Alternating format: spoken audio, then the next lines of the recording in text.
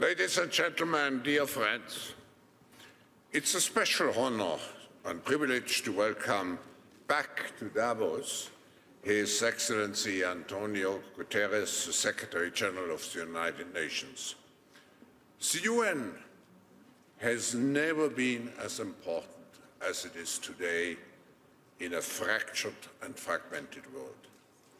We are all grateful, Mr. Secretary General, that despite all those fractions and difficulties, you stand up for global cooperation and that you also have the courage to speak out and to remind all of us of the danger and of the possible catastrophic consequences if we don't get our act together.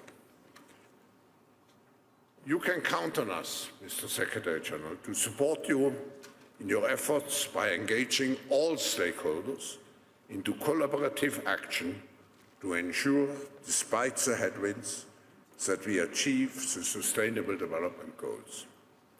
At the beginning of this year, we are grateful that you share with us again your assessment of the state of the world.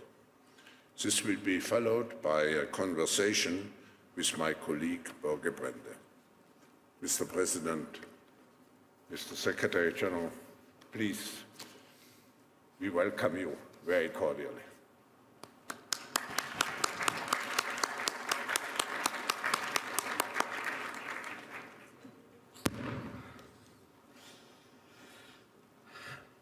Excellencies, dear friends, thank you very much for your welcome and thank you, dear uh, President Schwab, for your kind words.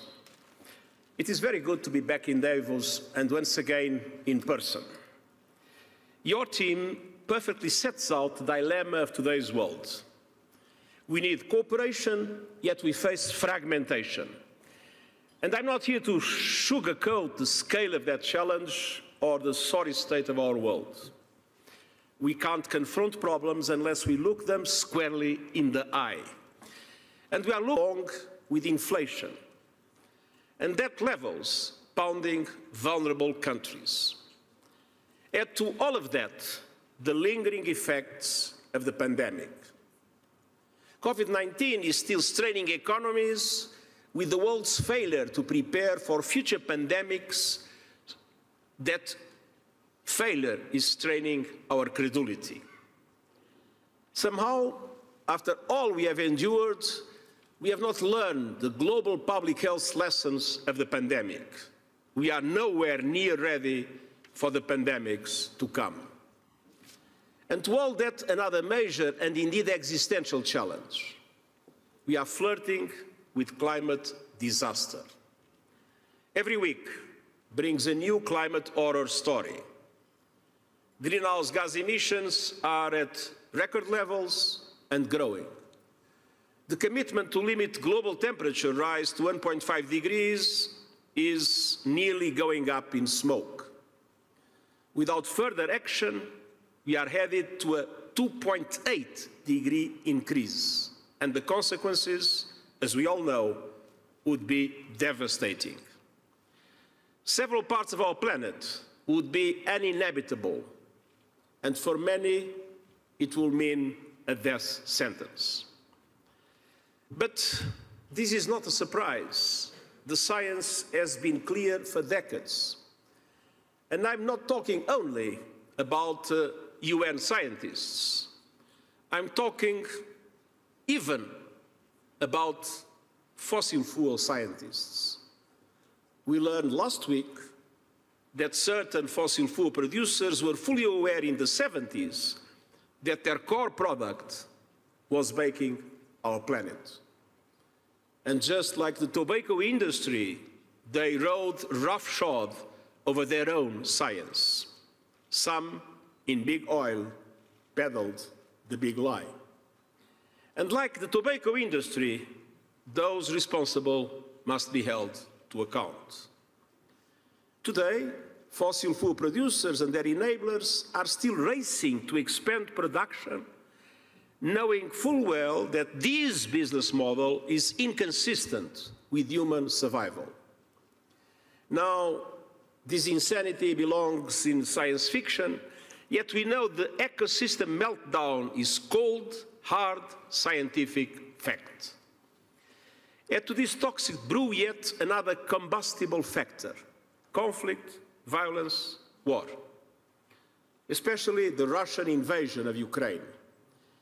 Not only because of the untold suffering of the Ukrainian people, but because of its profound global implications on global food and energy prices, on trade and supply chains, on questions of nuclear safety, and on the very foundations of international law and the United Nations Charter. We are doing our best, making progress where we can, particularly in facilitating exports of food and fertilizers from Ukraine and also from Russia. But we are a far cry from peace in line with international law and the United Nations Charter. So, dear friends, all these challenges are interlinked and they are piling up like cars in a chain reaction crash. Now, let's be clear.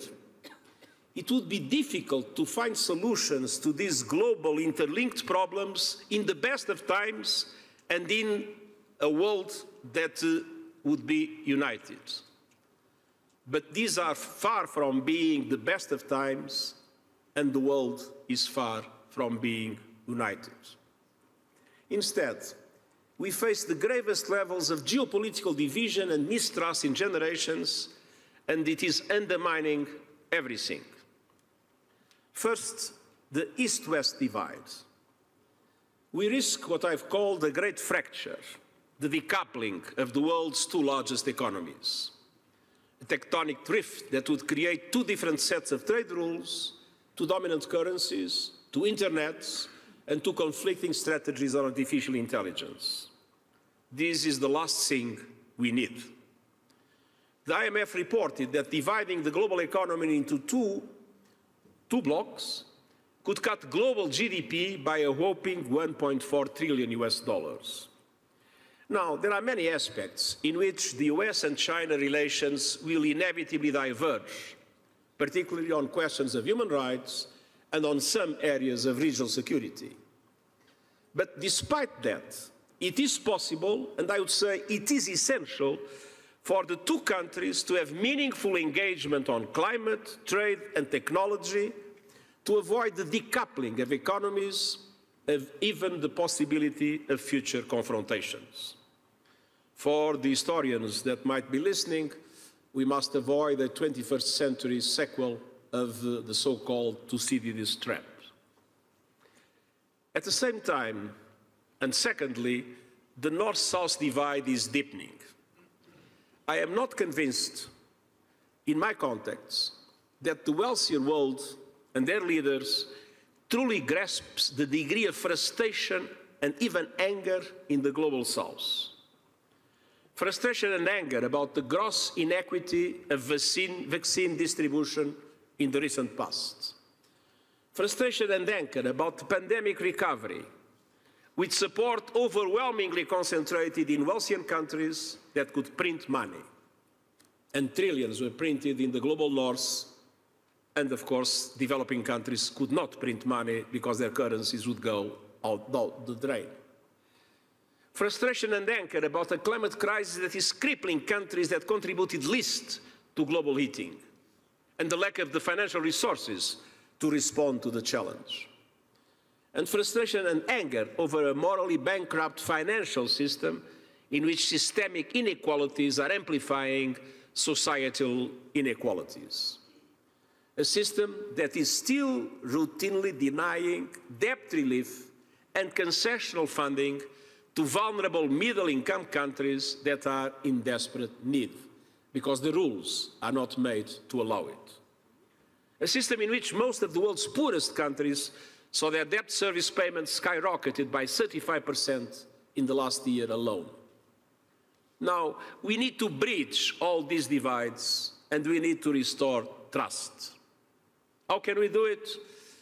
First, by reforming and building fairness into the global financial system. Developing countries need access to finance to reduce poverty and hunger and advance the Sustainable Development Goals. I have urged the G20 to agree on a global SDG stimulus plan that would provide support to countries of the global south, including the vulnerable middle income ones. They need the necessary liquidity, debt relief and restructuring, as well as long term lending to invest in sustainable development. In short, we need a new debt architecture. And multilateral development banks must change their business model. Beyond their own operations, that of course are very important, they must concentrating on multiplying their impact, leveraging massively private finance in a systematic way, providing guarantees, accepting to be first risk takers in coalitions of financial institutions to support developing countries. Without creating the conditions for massive inflow of private finance at reasonable cost to the developing world, there is simply no solution. International financial institutions are too small and the capacity to increase ODA is not to be seen in the short term. Then second, bridging divides and restoring trust means meaningful climate action and climate action now. The battle to keep the 1.5 degree limit alive will be won or lost in these decades, on our watch. And uh, right now, we have to confess that the battle is being lost. So we need to act together to close the emissions gap. And that means to phase out progressively coal and supercharge the renewable revolution, to end the addiction to fossil fuels, and to stop our self defeating war on nature. On the other hand, the developed world must finally deliver on its 100 billion climate finance commitment to support developing countries. Adaptation finance must be doubled, as it was promised in Sharm el Sheikh. And the biggest emitters, namely the G20 countries, must unite around the Climate Solidarity Pact, in which they make extra efforts in the 2020s to keep the 1.5 degree limit alive. And uh, it doesn't work if developed countries attribute responsibility to emerging economies and emerging economies attribute responsibility to developed countries. They need to come together to bring together all their capacities, financial and technological, with the, the developed ones providing financial and technical assistance to help the major emerging economies to accelerate their renewable energy transition. Because if they don't, we will not be able to reduce emissions at the level that is necessary to keep the 1.5 degree goal, I would say to keep the 2 degree goal alive. And our climate goals need the full engagement of the private sector. Now, the truth is that more and more businesses are making net zero commitments, but benchmarks and criteria are often dubious or murky. And this can mislead consumers, investors, and regulators with false narratives. And it feeds a culture of climate misinformation and confusion and leaves the door open to greenwashing. That's why we created an expert group on net zero emissions commitments. Recently, the group has issued a how to guide for credible, accountable net zero pledges. And here in, at Davos, I call on all corporate leaders to act based on these guidelines. To put forward credible and transparent transition plans on how to achieve net zero and to submit those plans before the end of the year. Now, the transition to net zero must be grounded in real emissions cuts and not relying essentially on carbon credits or shadow markets. And finally, what is true about private sector engagement on climate applies across a range of challenges. And government action is critical, even if obviously it is not enough. We must find avenues to boost the private sector's ability to play its full role for goods. And uh, it must be recognized that in many ways, the private sector today is leading, but it is to a certain extent undermined by government action or the lack of government action.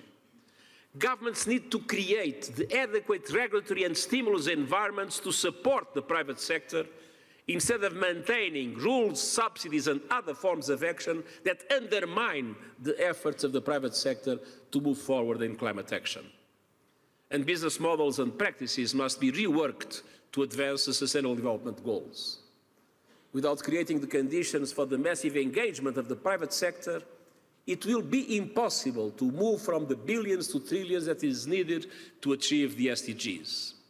To lead the way, to expand economic opportunity for women, to ensure greater engagement and cooperation for vaccine equity, to achieve global food security, and for that, we need the cooperation of the private sector to keep Ukrainian and Russian food and fertilizer exports flowing and affordable. Even in the midst of the war, the insurance sector has helped support the movement of vessels from Ukraine and Russia. And we urgently need other private sector actors to engage, such as the banking sector, the traders, and the shippers. Across the spectrum of global challenges, we need private so sector resourcefulness and cooperation to be able to advance in our common objectives of peace, of sustainable development, and of human rights.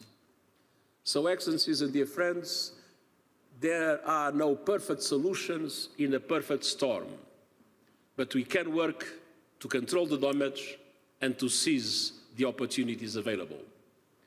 And now more than ever, it's time to forge the best ways to cooperation in our fragmented world, to adopt multilateral solutions, to bring trust to where trust is badly needed because the world cannot wait. And I thank you for your patience.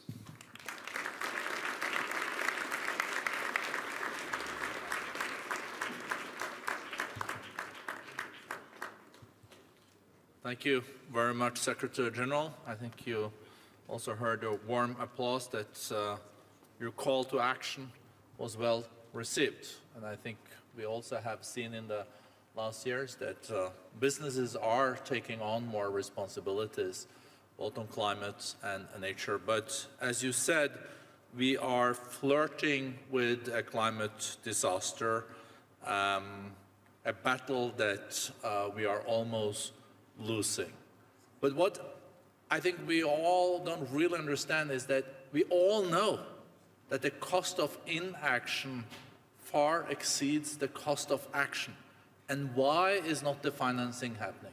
Why is not uh, the money to adaptation coming there? Is there, how, how, do you explain this? Because if there was common sense, uh, we would do it. Maybe it's not that common. Well, there is a difference. Uh, the cost of action is today's cost. The cost of inaction is already today's cost, but it is essentially tomorrow's cost. And uh, we have a dramatic bias in the political life, but also in many areas of the business life, which is the preference for the present. No, I was in politics for a large part of my life. And I know how important it is for politicians to look at the polls, to see how things are going, to look at the next elections. And today in the world, most of the political choices that are made are still made in short, with a short-term perspective and looking more at polls, future elections, political power struggles, and less and less on effectively solving problems. Let's be frank. And in the business community, there was uh, uh, a clear trend, which is now being mitigated, to look essentially into short-term objectives, to increase the value of shareholders. And to increase the value of shareholders is to bet on short-term measures to get short-term results and forget about the future, because the future we will see afterwards. So we badly need to change the mentality of decision makers in the public sector and in the private sector. And I would say it will be easier to do it in the, public, in the private sector than in the public sector. But politicians need to understand, and sometimes we are faced with this kind of challenges. It is better to take today decisions that will eventually be not popular, but it will be essential to be able to shape the public opinion itself. My experience when I was in government is that when I was following the polls, I would have problems in the short term. And then I, when I was able to show leadership and go even to what was the prevailing trend of the opinion and take the decisions that were necessary to ensure the future of my country at the time, that in the end would pay. So my appeal to decision makers in the public and the private sector is don't look about what's going to happen to you tomorrow, look into what's going to happen to all of us in the future. And to be honest, it is already happening now. Thank you. And I, I think what we would hope for is that uh, people that aspire to be leaders, both in business and in governments, also think about what kind of legacy they want to leave. Um, and we need to create systems of stimulus that benefit long-term thinking, instead of the present systems that theoretically are conceived to benefit short-term results. And I guess so, very important. Social media is maybe not helping when it comes to incentivizing long-term thinking. I mean, we have in social media all kinds of things. We have fantastic contributions to social media for the most noble causes of uh, humankind. And we have also the problems, in my opinion, of the business model of social media, in which, of course, the interest is to have as, as much interactions as possible and to reach as much people as possible. And uh, as uh, we know from traditional media that what is news is not when a, a, dog bites a man. What is news is when a, a, a man bites a dog. The, the algorithms and the business model of social media are constructed in such a way that they tend to expand the, um, uh, uh, I would say, the, the, the informations, the positions, the ideas that are more extreme, that are more controversial, that create more trouble. And so I think it's, and it's not a question of censorship that will solve the problem. The question is the business model needs to be redesigned, the algorithms need to be redesigned in order not to be based on evil to make profit. No, it's such a good point. You know, when uh, we grew up and read the papers, the editor took the pride in everything being correct in the paper. And now there's no editing. It's up to the individual to then assess if this is true or not. Yes, but there is a responsibility of the platforms. I mean, um, one can argue uh, if, if uh, we have something, as you, as you mentioned, in the media, and if someone is uh, attacked in a way that is wrong, uh, uh, there is a possibility to go to the court. Uh, in social media, there is no responsibility. And I can understand the argument of social media platforms saying, well, this is put by people, so it's not our responsibility. But the truth is that the algorithms are made in such a way that they amplify in a preferential way a certain number of things. And whether, when the algorithm amplifies, then there is, in my opinion, a responsibility and there should be accountability, including through the legal system in relation to those situations. At least when false information, defamation, all other kinds of things are benefited are not only just what someone puts, but are benefited by the way the algorithm amplifies that. That creates, in my opinion, a responsibility of the platform. No, thank you uh, very much uh, for that. Uh, reflecting uh, on the state of the world and listening to uh, your very powerful speech, I was reflecting, have you ever in your career seen such a complex geopolitical and geoeconomic landscape? Let's be clear. I think we are in the worst situation I remember in my lifetime. I mean, I have not lived the Second World War. If I had lived the Second World War, what I'm saying now would not make sense. Uh, but I really think we are in the worst situation of my lifetime. First of all, the climate threat is coming to a point of no return we are using 1.6 planets, and we have only one planet to use. And, uh, and uh, the climate and the biodiversity issues have lost attraction for political decision makers. Everybody is concentrated now on the war in Ukraine, on the cost of living and other aspects, and there is a lack of the sense of urgency in relation to climate. And the question of climate, together with the question of biodiversity, is an existential threat that today is very close to a tipping point that makes catastrophes totally irreversible. And that would not be the case 10 or 20 years ago. We still had much more time to act, and we have not used that time to act sufficiently. So now we are on the verge of the irreversible changes that will completely undermine the future of the life in the planet as we today see it. Second, the geopolitical divide is different from what it was during the Cold War.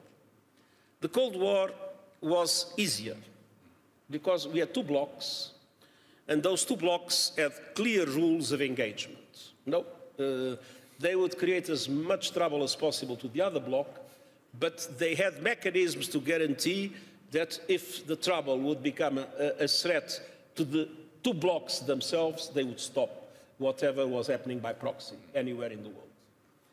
Those mechanisms that were particularly relevant in relation to the nuclear disarmament and to the nuclear control mechanisms, those mechanisms have lost existence or lost capacity. People got used to the 90s, to the beginning of the 20th century, to the idea of the end of history and uh, there is no more a risk of a global confrontation.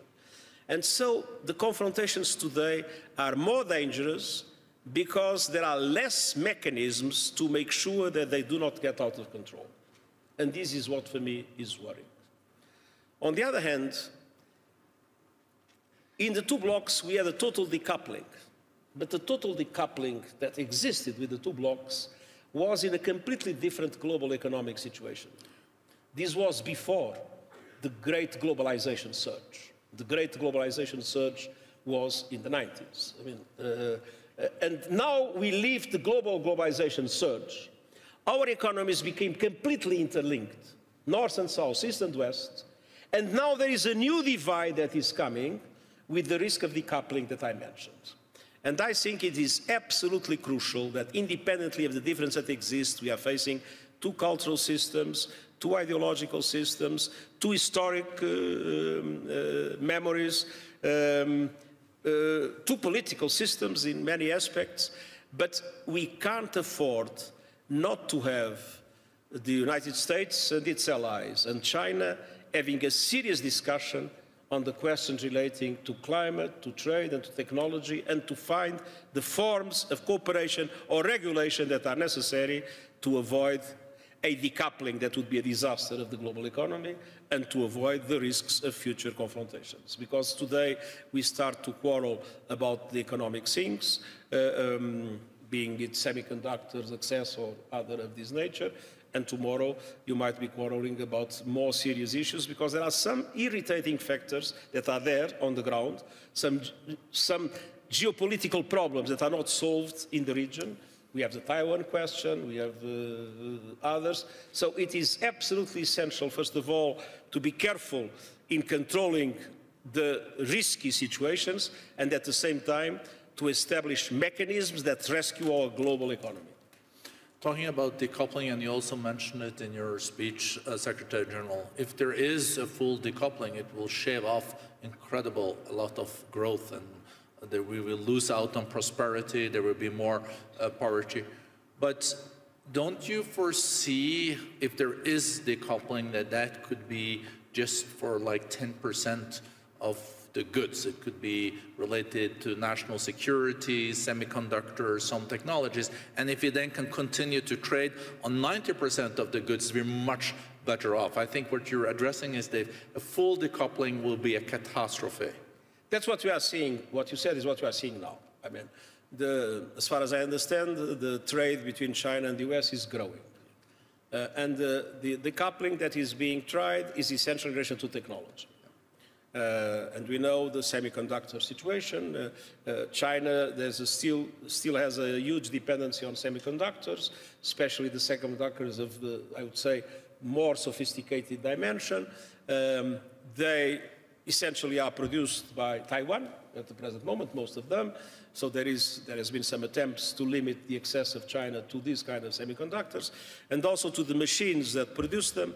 And the biggest producer is the Netherlands. Um, and the Netherlands are reacting because they would like to keep their market, which is perfectly understandable. So for the moment, this is limited to certain areas of technology. The problem is that these areas of technology will shape the future economy.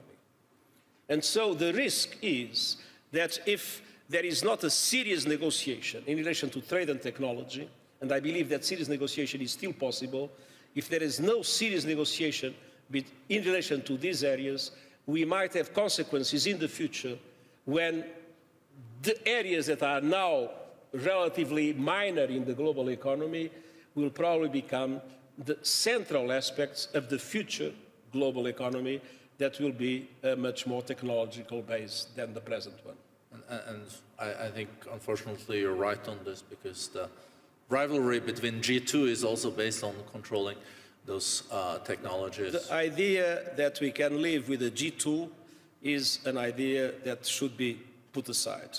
The G2 would mean a G0. It would mean that we would not have the capacity to bring together the resources, the energy, the capacities, the technologies that we need to face the challenges that we're facing. Because climate will not respect the G2, um, uh, uh, demography will not respect the G2, uh, and the dramatic situation of uh, developing countries uh, will not respect the G2. Secretary General, last question. I wish we could have continued. Uh, it's, it's, so much uh, insight. I think, uh, as you mentioned also, the impact of the war in Ukraine has on food prices, energy, um, is uh, substantial. Do you think there will be an end of this war this year? Do you think there will be an end of this war this year? No, there will be an end of this war. There is a war, an end of everything. But I do not see an end of the war in the immediate future, unfortunately. I mean, um, I do not see a chance at the present moment to have a serious peace negotiation between the two parties. Um, and uh, let's be clear, the Russian invasion of the Ukraine, that was in violation of international law and the values of the Charter, um, has created a, a situation in which, because to a large extent, the two sides have a basic disagreement on the past. And it's always very difficult to solve disagreements on the past. Uh, two different ideas about what the Russian Empire was, what the nationalities were, and two, di two different ideas about what today are Ukrainians and are Russians. Uh, it is clear that, uh, um, uh, uh in my opinion, uh, this, this makes it more difficult to find a solution. But that solution needs to be based on international law and needs to respect the territorial integrity of Ukraine. And I don't see conditions for that to happen in the immediate future. What we are doing, and uh, we are very strongly engaged, is in relation to the Black Sea Grain Initiative, which I must say it's quite amazing that with two countries in war it's possible to have an agreement uh, in this regard, but also the uh, Russian exports that are necessary uh, for the global food security. We have been dealing with uh, problems of uh, rescuing civilians in difficult situations like Azovstal in the past. We have been discussing with both sides the exchange of prisoners of war. Uh, we are supporting the International Agency of Atomic Energy that is a UN body in relation to Zaporizhia now in relation. So, I mean, we are doing everything we can and this is probably uh, one of the most important areas of our activity to limit the damage, to reduce the suffering of the people, and to reduce the impacts, the dramatic, devastating impacts in the global economy, because it came on top of the COVID, on top of the inequalities, on top of the, um, uh, uh, of the climate uh, problems. Uh, so we, we, are trying to address the consequences, but for the moment, I don't think that we have a chance to, uh, uh, to promote or to mediate a serious negotiation to achieve peace in the short term. So we'll have still to wait and to be clear on our principles, and our principles are international law, the values of the Charter, territorial integrity, but at the same time to try to do everything we can, talking to both sides and to other actors, in order to minimize the impacts on the suffering of the Ukrainian people and on the global economy, especially in the most vulnerable countries. Thank you so much, uh, Secretary General. I'm sorry we had to end on such a somber uh, note, but I think it's reflecting the world we are living. Uh, I think uh, many of us do hope uh, for uh, the Secretary General's good offices and, the and the United Nations and multilateralism in such a situation. So thank you very much for your leadership and thank you for being here. Thank you very much. All the best.